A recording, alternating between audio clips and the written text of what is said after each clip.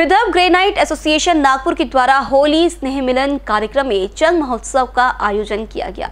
कार्यक्रमों में चंग, ढब की थाप, घुंघरू की झनकार व बांसुरी की सुरीली आवाज़ पर श्रोता झूमते नज़र आए। राजाराम हवेली में इस होली उत्सव का आयोजन रखा गया, जिसमें सभी व्यापारियों ने भाग लिया और राजस्थानी लोक संस्कृति का जागृत लोक नृत्य और लोक गीतों पर चंग की थाप पर लोगों ने झूमते हुए उत्सव मनाया।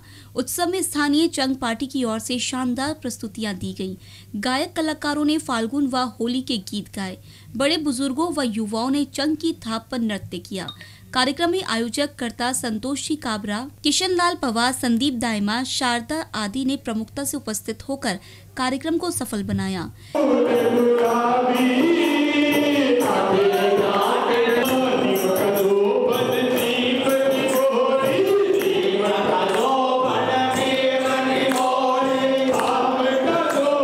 सभी को होली की हार्दिक शुभकामनाएँ।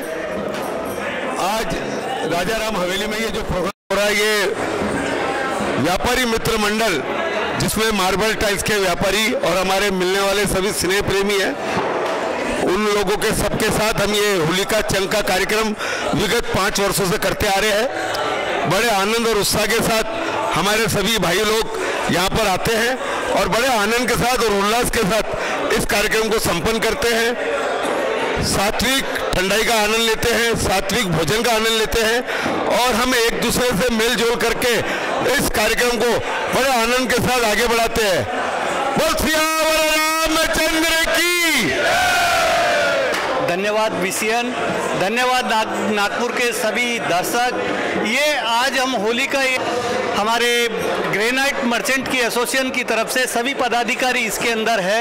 इन लोगों के सहयोग से ये प्रोग्राम संपन्न हो रहा है। हमारा मुख्य मकसद यही है कि हमारी ये राजस्थानी भाषा के अंदर ये लोक संस्कृति कार्यक्रम है, जिसको हम हर लोगों तक पहुँचाए। आज के ज़माने में सब लोग मोबाइल से जुड़े हैं, कोई फेसबुक से जुड़ा है, कोई इंस्टाग्राम से जुड़ा है। लेकिन थोड़ा समय अगर इससे लगा के देखेंगे तो अपनी ये पुरानी संस्कृति, चाहे किसी भी देश प्रदेश की हो जीवित रहेगी, यही इसका मेन उद्देश्य है। मैं पुनः हमारे एसोसिएशन के पदाधिकारियों का धन्यवाद देता हूँ कि इन्होंने हमें मौका दिया यहाँ आने का और बहुत से लोग बाहर से आके इस कार्यक्रम को देखते हैं। धन्यवाद बीसीएम धन्यवाद यहाँ के सभी पदाधिकारियों का। कैमरा पर्सन अजीत कुंवर के साथ अक्सर अंसारी बीसीएन न्यूज़ नागपुर।